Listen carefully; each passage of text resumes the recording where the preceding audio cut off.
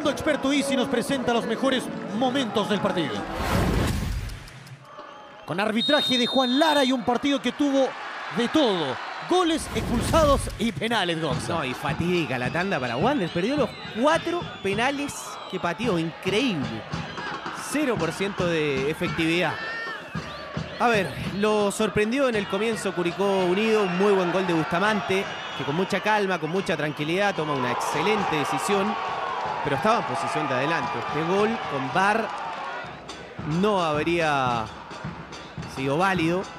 Ahí sale la pelota. Un poquito antes ya estaba con su cuerpo en posición de adelanto. De todas formas, interpreta muy bien el espacio que generó la salida de Coelho Castro para meterle una pelota profunda a Bustamante, que anotó dos goles en esta llave. Fue decisivo.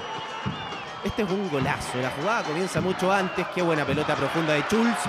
Jugó un muy buen partido Herrera. El centro atrás es muy difícil de defender. Quien viene de frente aparece casi como un jugador invisible.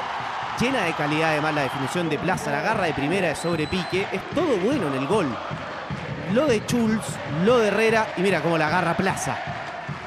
Gol de difícil factura, de mucha calidad. Y nos íbamos a los penales, Fabi.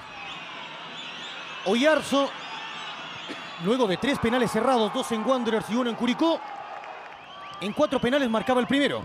Che, y la toca Santelices, que atajó tres penales la figura de la cancha. Curicó, que avanza a los octavos de final de la Copa Chile. Los mejores momentos del partido fueron presentados por Mundo Experto y